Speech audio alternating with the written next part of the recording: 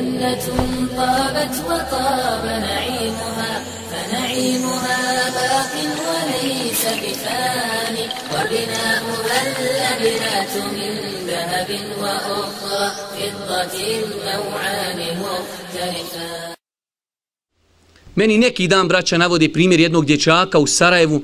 Znam dječaka, vidio sam ga u džamiji. To je bilo dijete, naranu ga privit.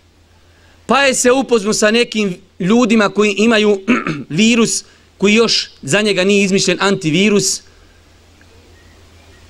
haridžijski pogled na Dunjaluk, pa su ga odveli u planine da im čuva koze i ovce i oze, iako je dijete fakultetski obrazovan, ali nekom prodao kanticu magli, kažeš kupit magli, hoću, kao je, dobri magli, čoj, daj da kupim. Prodao mu kanticu magli i odveli ga da im čuva koze. Fakultetski obrazovan čovjek nasjeo na priču sunnet, bidat, notarija, tagut, kufr, sunnet, ne znam nija šta već imaju ti pet termina koji non stop ponavljaju.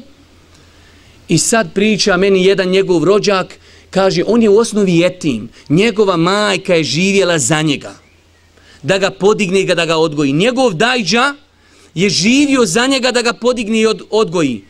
Ok, eto, tvoja majka proglasio si čafirom, ok, i dajđu si proglasio čafirom, ali gdje je dobročinstvo? Gdje je dobročinstvo prema majci? Ali ne, ni kad odu, kad i odvedu, znači, oni su njega odveli, izolirali su ga i šta? majku svoju za, zaboravio. Dobro, ako ta tvoja majka neće vjeru od tebe, evo protekfirio si, dobro. Hajmo sad po hadisima Božijeg poslanika, kao što je posnu Muaz ibn Džebela, hajde sad pozovi u islam. Ne, ne, ne, ne, idem ja koze pozivati u islam na brdima, moja mama nek ide u džehennem. Pogledaj Allah, To, znaš šta, švraka, ja mislim, nisam ja plaho oko te onaj ptica, ali mislim da je švraka sa najmanjim mozgom na planeti. Švraka je većeg mozga od njegovog mozga. Svoju majku ostavio, ošao čuvat nekome koze, proglasio mamu čafirom i mama mjesecima plaće da vidi to svoje dijete.